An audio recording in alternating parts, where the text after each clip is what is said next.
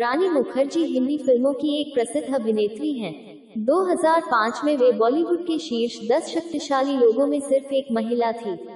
रानी ही एक ऐसी अभिनेत्री है जिसे फिल्मफेयर ने तीन साल लगातार 2004-2006 बॉलीवुड की शीर्ष अभिनेत्री घोषित किया। रानी समाज सेवा के कामों में बहुत सक्रिय रहती हैं और उन्होंने बहुत सारी संस्थाओं के लिए चंदा इकट्ठा किया है। उन्होंने दो विश्व टूर में हिस्सा लिया है, जहाँ बॉलीवुड के और सितारों के साथ उन्होंने स्टेज शो में दर्शकों के सामने प्रदर्शन किया। अपने पहले टूर में वे आमिर खान, ऐश्वर्या राय बच्चन, अक्षय खन्ना और ट्विंकल खन्ना के साथ थी और दूसरे में शाहरुख खान, सैफ अली खान, प्रीति जिंटा, अर्जुन रामपाल और प्रियंका चोपड़ा के साथ देखी। 2005 में उन्हें बॉलीवुड की तरफ़ से पाकिस्तान के राष्ट्रपति परवेज मुशर्रफ के साथ खाने पर न्योता दिया गया। 2006 में उन्हें बाकी बॉलीवुड अभिनेत्रियों के साथ ऑस्ट्रेलिया के कॉमनवेल्थ खेलों में भारतीय परंपरा का प्रदर्शन किया।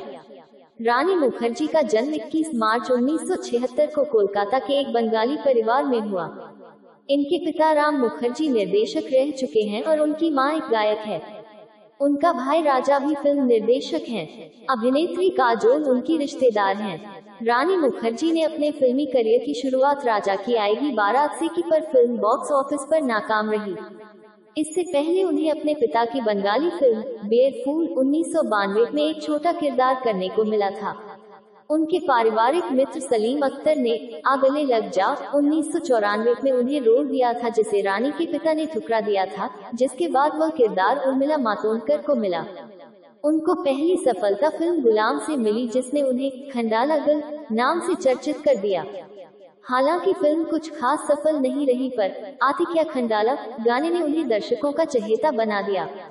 उनकी पहली बड़ी सफल फ़िल्म रही शाहरुख खान के साथ कुछ कुछ होता है।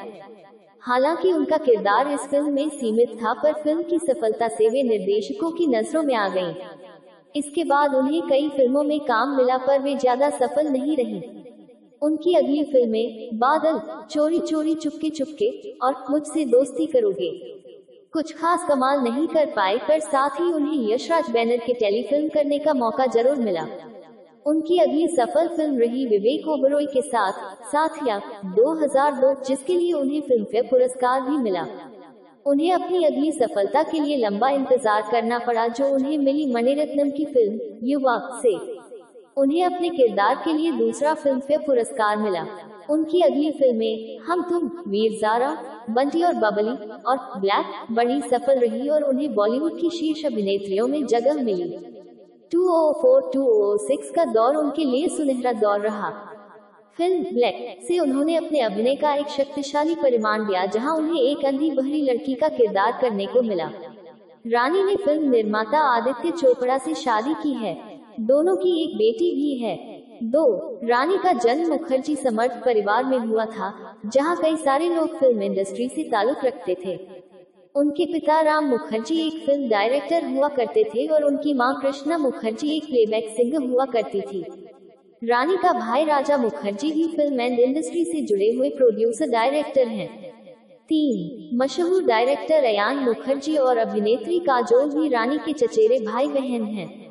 चार, रानी ने अपनी माँ के कहने पर अपने फिल्मी करियर की शुरुआत उन्नीस सौ छियानवे की अपने पिता के द्वारा बनाई गई बंगाली फ़िल्म बियर फूल से की। बाद में यही फ़िल्म हिंदी में राजा की आएगी बारात के नाम से बनाई गई, जिसमें रानी ने मुख्य भूमिका निभाई।